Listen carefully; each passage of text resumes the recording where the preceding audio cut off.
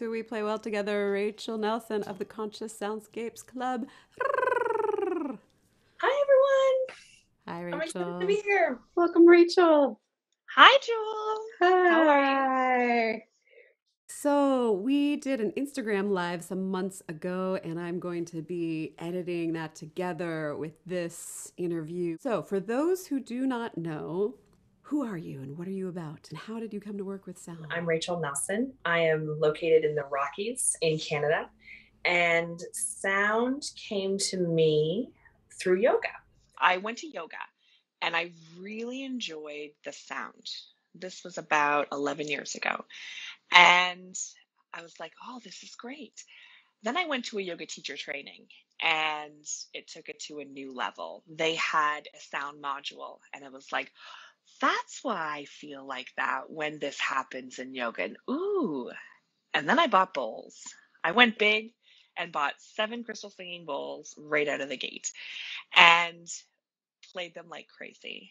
And then I decided to take it to the next level and got more instruments and more instruments from metal bowls and chimes. So I went for some education in sound so that I had the knowledge to back up the why it is that I was doing what it was I was doing. And my dad passed away. And so sound became something that was really important to me and helped me move through that. So I got even more instruments. So every time I play a crystal bowl or I play a chime or I play a kalimba, I feel really connected Mm, to those I've lost. mm. So yeah, Cliff Notes version. Handkerchief. Yeah, Hello. yeah. Beautiful. Beautiful. What would you say to those who are currently swimming in grief or loss? Well, sound makes me happy. And when I'm happier, I'm able to do more things. I serve my community from my saucer, not my cup. And the sound keeps my cup full. So if it's something, a pair of wooden spoons, because that makes me joyful and takes me back to my childhood, or the twinkly times of a kalimba, this is something to take that moment of time of something that makes you really happy to be able to spread that out a little bit more like a flower essentially. So it's a bud and the more you nurture it it opens up. The same with my emotions. For me that's what sound does. So Mm, i'm all mm. for it. But it also allows you to be with some of those uncomfortable feelings as well. yeah Right. absolutely. The the sound helps me to feel it till i heal it and get messy with it and be with it and that's okay and at the same time it is also joyful for when things are okay We connected over Clubhouse. Mhm. You started this Conscious Soundscapes Club Mhm. on Clubhouse. And I think there's like 5,000 members now Yeah. at this point. Yeah. Yeah. We're, I think, about to hit 5.6K, which is, it's been a lot of work. It's been very rewarding, but it has been a lot of work. Yeah. So, for those who don't know, Clubhouse is this social audio app that popped up, and then there have been a lot of copies of it, but it really is its own social media community and it is audio only. So, there's no video. Mhm. You have a picture avatar that you can change. And there's some some fun, whimsical bells and whistles and messaging and recording and things that you can do. But basically, it is human voice talking to human voice.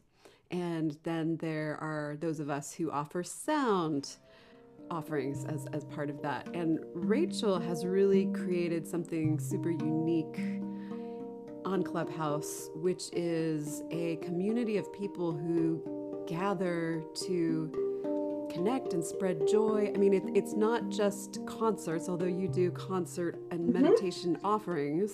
Mhm. Um, there are also talk sessions where you've interviewed people. You did this wonderful musician interview series. and then there are collaborations with other rooms and other clubs. But the best thing, or what I think is the best thing about the Conscious Soundscapes Club, is this real time community connection that you mm-hmm. have created and cultivated with your people, the people who who have been drawn to this right.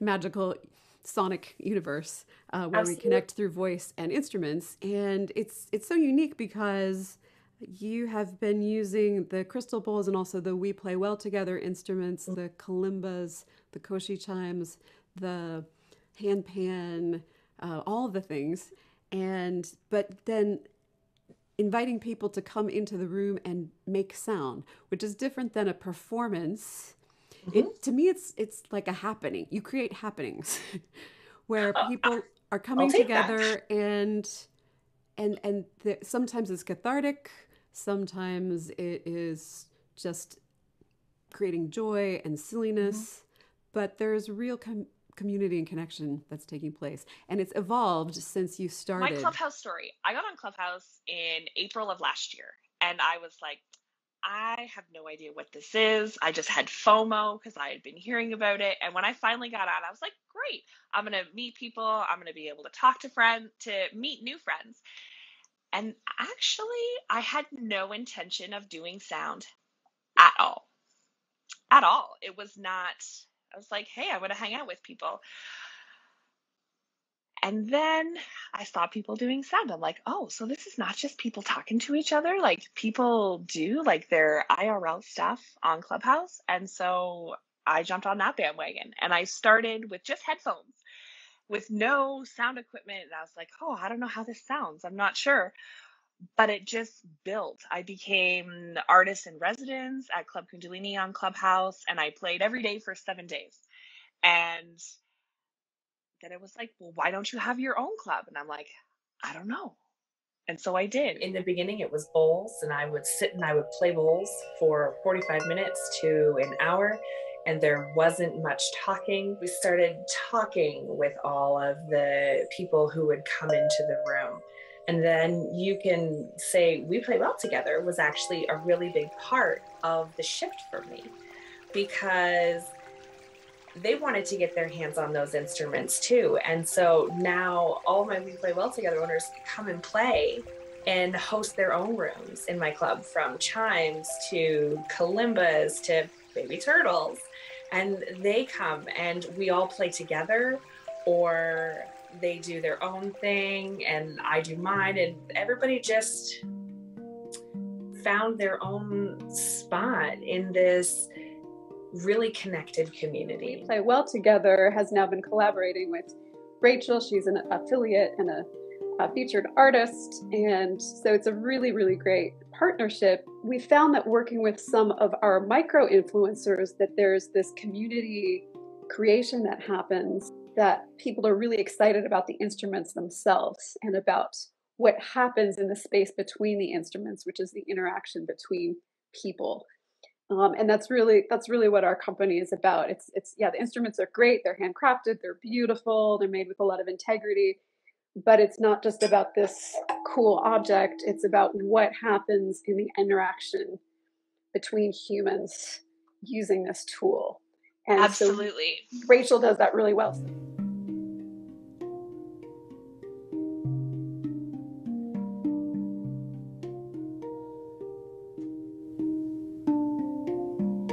Who and what is Kabuto? Kabuto is yeah. my lovely Spacedrum evolution. And I got him in June when I met Joule in person, and Kabuto came home with me. Aww. When I got home and I got settled, I start I was playing every day. And I'm like, well, why aren't I playing on Clubhouse while I do this? So I do this 10 to 15 minute room every day on Clubhouse. And it's been pretty amazing. Kabuto has his own hashtag. People come to to listen. They can't catch it live, they catch the replay. So it's been pretty awesome. He's adorable.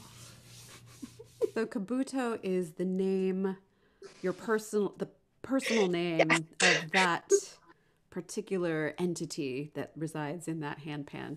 Uh, yes. So for anyone who doesn't know, a handpan is a generic name for this instrument that's like a reverse of a steel drum. It is hand hammered and has beautiful tones. And I have one behind me here in a slightly different tuning. Yeah. And it's made by a company called Metal Sounds. And there are a couple of different versions. There is a nitro, which is nitrated steel, and then the Evolution, which is stainless steel. It has a really long sustain. It's very gong like. And we're finding that this particular model is really beloved by sound facilitators, sound meditation, and soundscape offerers, such as Rachel, because it's so easy to play it intuitively. There are no wrong notes. You can play it in any pattern. And you can speak to this, Rachel, but I, I think that it's it's an empowering instrument for people who might be a little intimidated about learning how to play a drum or needing to play particular rhythm or patterns.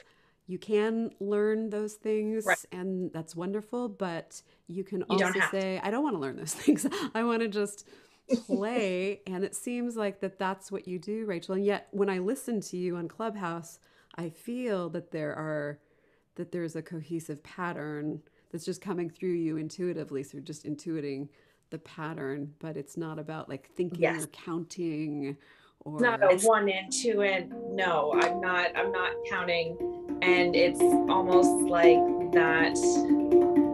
I'm one of those people. It's like this connection with Kabuto. When I played it for the first time, it was like, oh, everything that you've done until now brought you to me, and so he tells his own stories. I'm just the person who gives them space. He tells his own stories. So that's yeah. And then your joy with Kabuto caused you not only to name him, but to give him eyes. So yes, Kabuto Kabuto has his own eyes because he goes places and he has adventures, and so he should be able to see those adventures. So yes, he has eyes, and um, Googly eyes. has- Let's be clear. googly eyes, and they Google, and you know I will. I had so much fun filming um, with Kabuto while I was away with his eyes and in the golf cart and just all the things. So, So he has eyes that. that go on the pan, but also on the case, right? And then you put the case, it has a backpack. She puts it Mhm. on the backpack and then has a helmet and then is on a scooter and then jiving down the street and the, the googly eyes are going like this. So, yeah, Yep. even when it's not being played, Kabuto goes in the world. Yes. Yeah, well, he's got to go to places to play. So he, yeah, goes in his googly eye backpack on my scooter in the summer and take him to the river to play for Clubhouse. So yeah, Kabuto goes everywhere.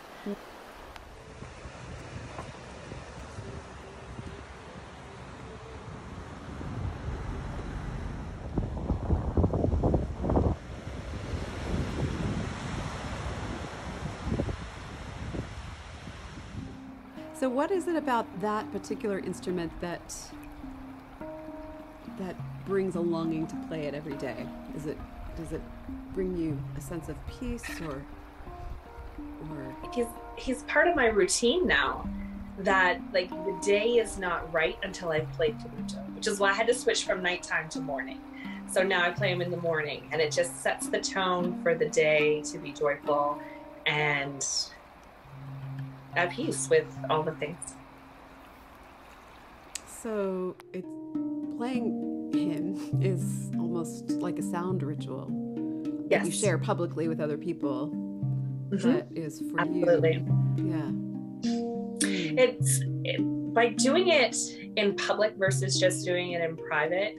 The the feedback from my community is now they have their daily rituals and their daily practices that they see from my doing it in such a public way that they now have their own. And so it's been it's been really helpful to the community in general. Mm. Some of them are now do their own rooms Mhm. with their own sound rituals. So it's been pretty great. Mhm. Full circle.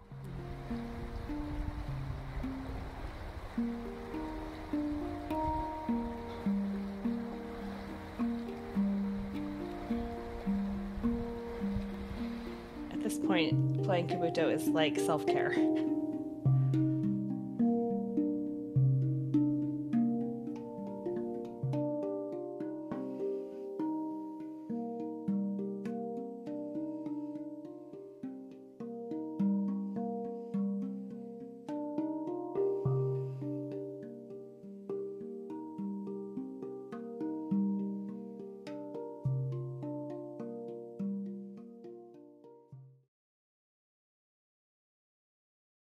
I, I have this feeling in in working with you and with listening to you that when you bring in the joy, whether it's playing the ecstatic kalimba or you know whatever the fun the fun silly thing is uh, that we're doing together, that there's this, and I hate to use the word because it's been so um, overused, but like Mhm. au- authentic, authentic. We were talking recently about performative Yes. authenticity which can get in some tricky territory because it's it's very convincing. People who are, are great Mhm. performers are great at performing authenticity and writing about it. But Right. real real authenticity is is being able to be in in this silly, playful, ridiculous place and then also be with the heaviness and the tears at the same time Absolutely.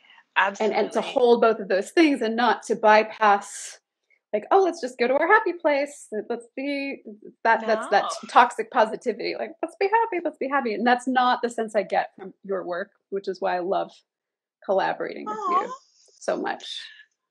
Yeah. Thank you.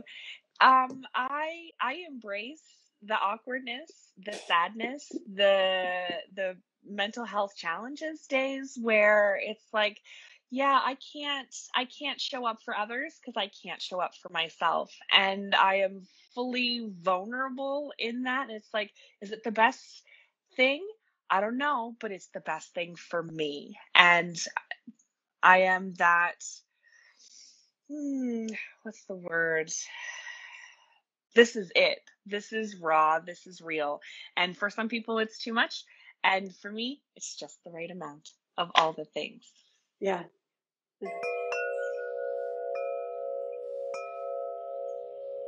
so of course you play the crystal singing bowls which is what you're maybe most known for Yes. Uh, we don't distribute crystal singing bowls, but so many people in our audience play them, and they go so they play well together with all of our other instruments. So if you are a crystal singing bowls fan or owner, then Rachel can tell us a little bit about how she incorporated some of the other instruments into her setup. There's they're so complimentary. Like who doesn't love listening to a koshi chime with a singing bowl? Like this they blend so well. I tend to now uh, start and or end my sound, my crystal singing bowls with a sansula or with a kalimba. In addition to playing chimes throughout, it's they blend so nicely together and it just adds that extra layer of what I call emotional sandpaper. Ooh, emotional sandpaper. I don't think I've heard that one before. How do you how do you describe that? Well, I I consider the sound the intention behind the sound that I create is to be mental and emotional sandpaper to work on your mental and emotional scar tissue. So when you sprain your Mm. ankle and you go to PT and they work on that physical muscle, well the sound for me works on the mental and emotional scar tissue. So it's like this vibrational sandpaper to help smooth out those edges. Mm. Mm.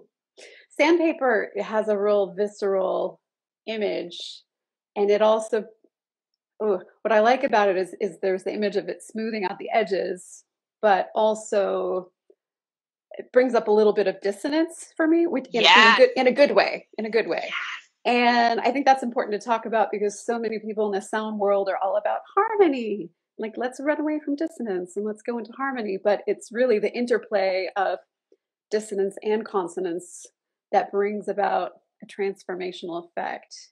So I love that. Love that image.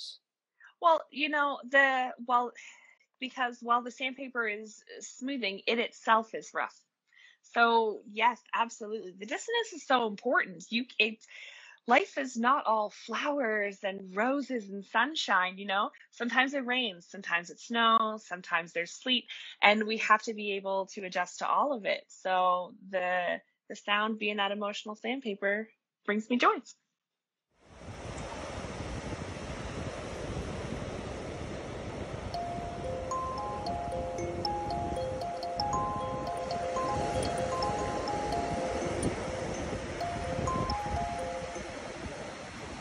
Talk about kalimbas. For anyone who doesn't know, what is a kalimba? I, I can answer that question. You can talk more about it. So a kalimba is uh, it's based on an instrument from Africa that is thousands of years old. So it's one of the, the world's oldest instruments. And it is metal tines that are tuned on a resonating body the ones from the continent of Africa, a lot of them have different kinds of tunings and they're very rhythmically played. There are buzzy kinds of things and rings. And so it's a very distinctive sound. And these kalimbas that we work with are from a German company called Hokema. And I describe them as more of like a hybrid instrument because they have these African roots, but they're tuned more to Western classical music scales uh, major and minor chords. So they also have a lot in common with the music box. So if you look inside a music box and you see those tiny little metal tines that play songs, that's very much an influence of this instrument as well. And then Hokema came up with this idea to put the instrument on a drum head, which gives it uh, an extra resonance. And then it also allows you to create a wah wah effect. So I'm going to play this, and then you can Wawa it. What do you have to add about the about the kalimbas and the sansulas? There are lots of people who full on play songs on on the kalimba and the sansula, and then there is me. I I will eventually maybe learn a song, maybe. But for me, it is like a fairy disco dance party in the forest and there's disco lights and there's a smoke machine there's laser lights and this all happens with something that i call ecstatic kalimba all right wait let's just pause for a minute. Okay. ecstatic ecstatic kalimba is a thing. It's a it's a term that rachel coined. And yes fairy disco dance party in the forest. I'm an intuitive player even with the bowls, with my voice, with everything, I'm an intuitive player. So, yeah, I kind of know what notes are, but I'm not a musician in the traditional sense like some of my other friends are. And so I I play with the oh, play me, play me, Mm-mm, don't play me. And that's what happens in my head when I play, which is which is different for some people.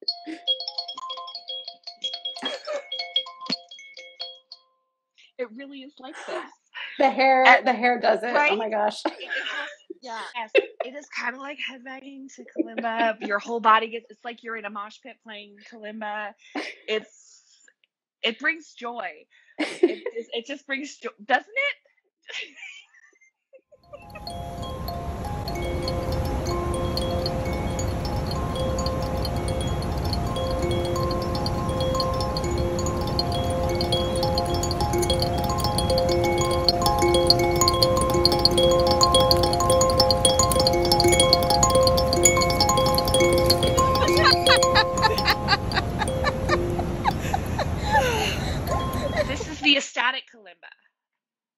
B5 is what I have ecstatic kalimba on because, like, who doesn't love that?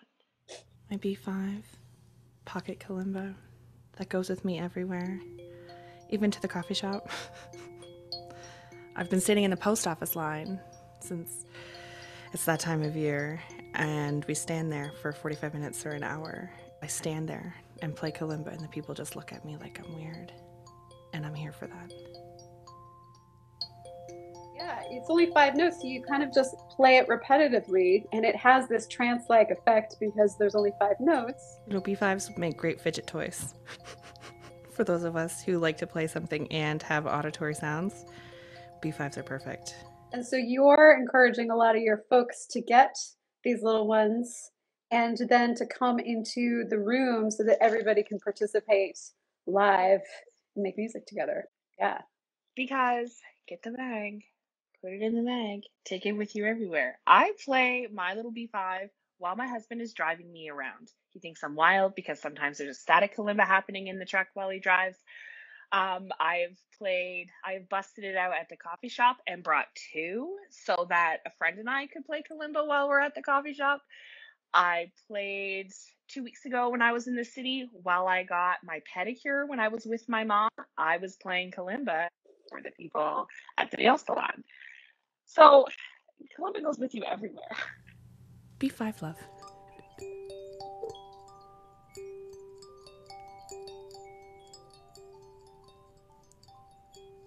Little B5 snuggle. or I can be a B5 sandwich.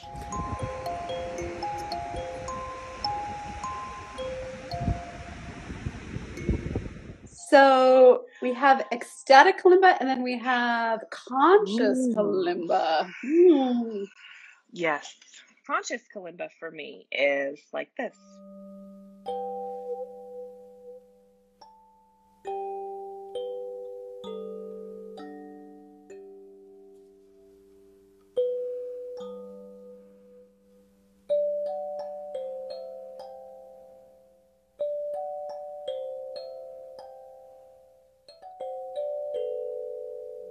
I could just do that for the next four hours, like I do. Mm. I play kalimba while I'm watching TV with the TV on mute, and I am either ecstaticing or I'm conscious and reading the television while I play at the same time. Oh, so you turned off the volume and just put on the, the titles. I read, I do closed caption, and then I Mm. can play and be my own soundtrack to whatever I'm watching. Wow, that's got to be so good for your nervous system. Yeah, instead of like listening to the craziness of the news or something, just reading it and going, okay, I got this. I'm going to play. Wow. Can you hold up your kalimba so we can see which one you're playing? Yeah, so she's playing the, that is the large sansula. That is the, um, the sansula melody that has 11 notes Mm. on it, and it's a it's a major scale. Although any of the kalimbas, you can retune them any way that you want. So you could get a major scale and retune it to a minor minor scale or a Dorian mode or whatever it is that you'd like to like it to be. Yes, the tuner tool. Mm. It's close. It's close. So we have a little hammer, and you just tap it, and then you can move these little tines up and down. So they're really customizable, which is which is cool, and not a lot of people may know that. Ooh, so this is like the slow swaying kind of thing. Yeah, we've done that on Clubhouse together, right? I get mine, you get yours, Yes. and we do this I love- little I love a little Sansula jam. little Sansula jam.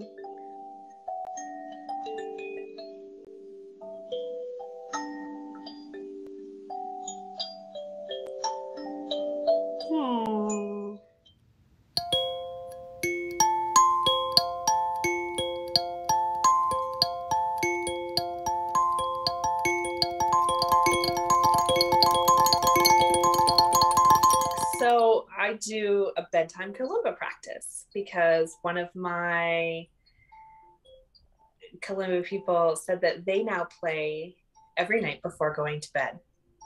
And they sleep better they get to sleep faster. It's their ritual at nighttime to decompress and slow down. And so i was like hey not all kalimba has to be ecstatic with this pink hair head banging on a beach somewhere. It can also be slow and so kalimba bedtime practice it is Mm. so every night I play kalimba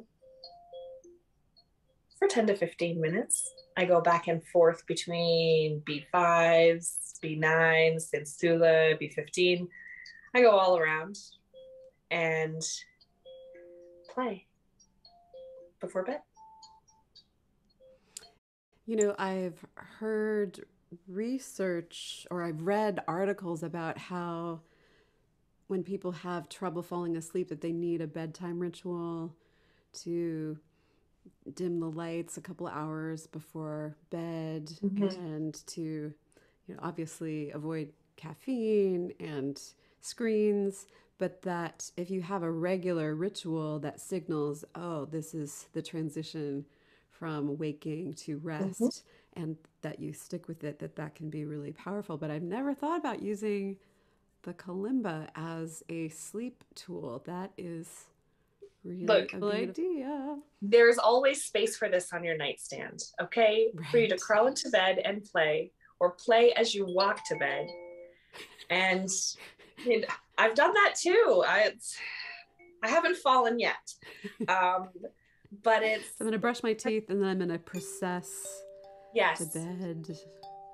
Mm-hmm. My kalimba. Absolutely. Mm. mm, Then some of the rooms are ecstatic, right?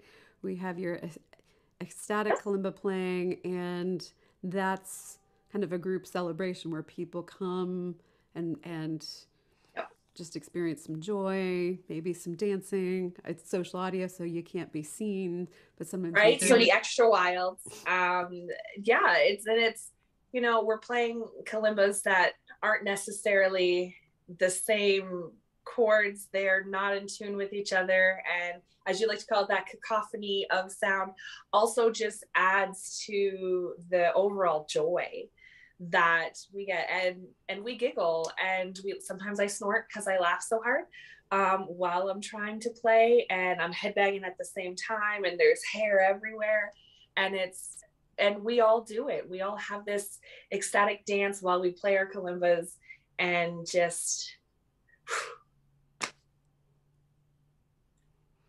awesome. There's no words for that. It's just a yeah.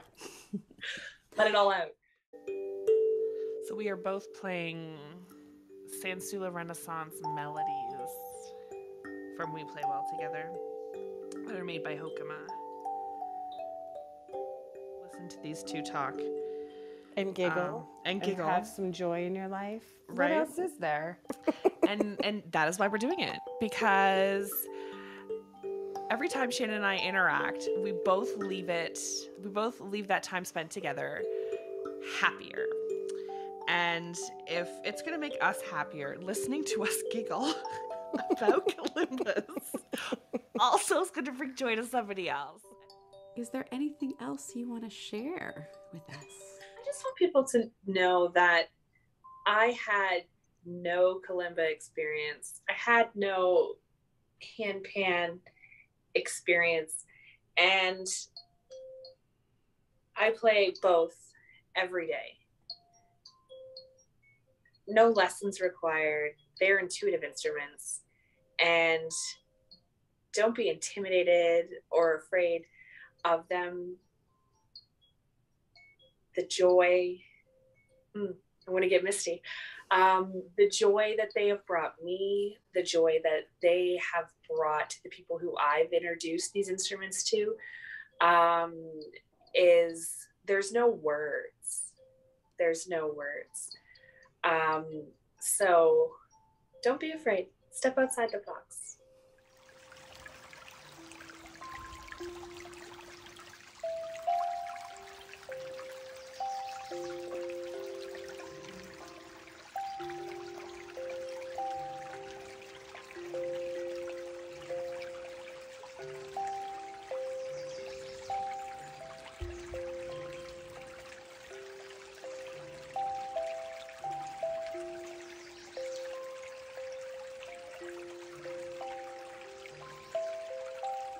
Why should you want to come to the Conscious Soundscapes Club? The people who have found the Conscious Soundscapes Club, which is not just a club on Clubhouse, that is actually what I go by when I do when I play in public. So yeah. it's not just a, a Clubhouse club.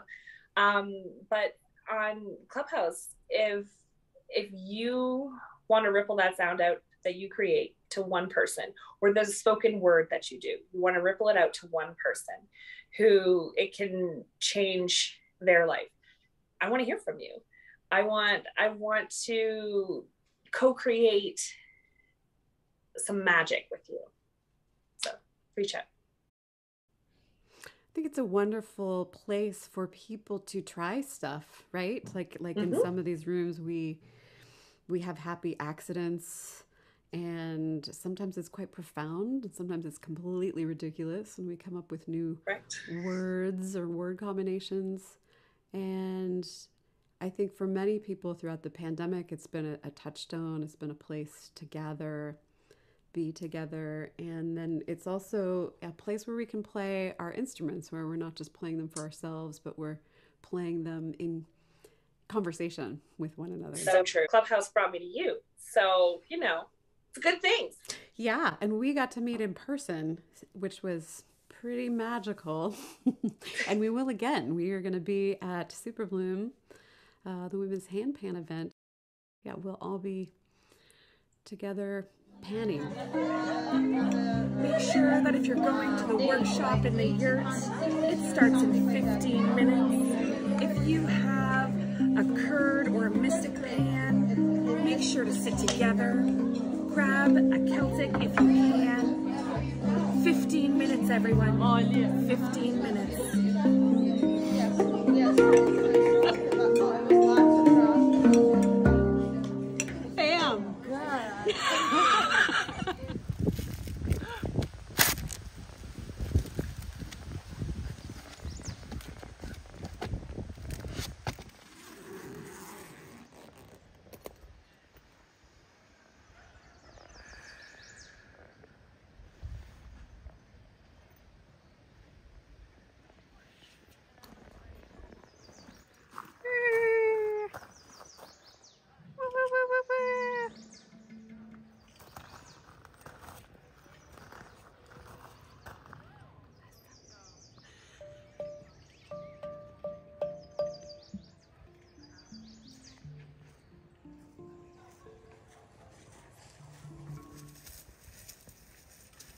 How does the new pan feel, Rachel?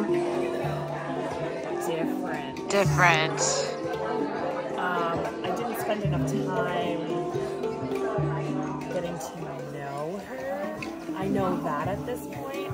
Um, but I don't know how things sound, where things are yet. Yeah. So it's uh, this whole like first date. I feel.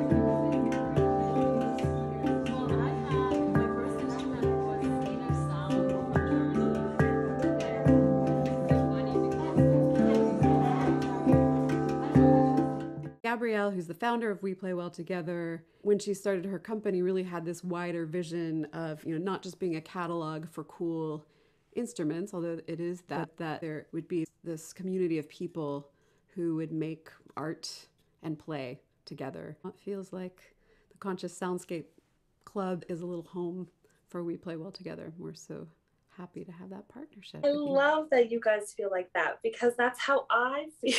Aw. so it, it it's nice that it is the same for both of us. Yeah, yeah. We hope that the Conscious Soundscapes Club has a long life. Social audio is still pretty new, so we don't know where where it's going to be five, ten years from now. But I can only imagine if you if you're able to keep this going, how this community will grow over time. It's it's quite thrilling to think about. And we hope that we are longtime friends. Absolutely. Can't get rid of me now. I'm here.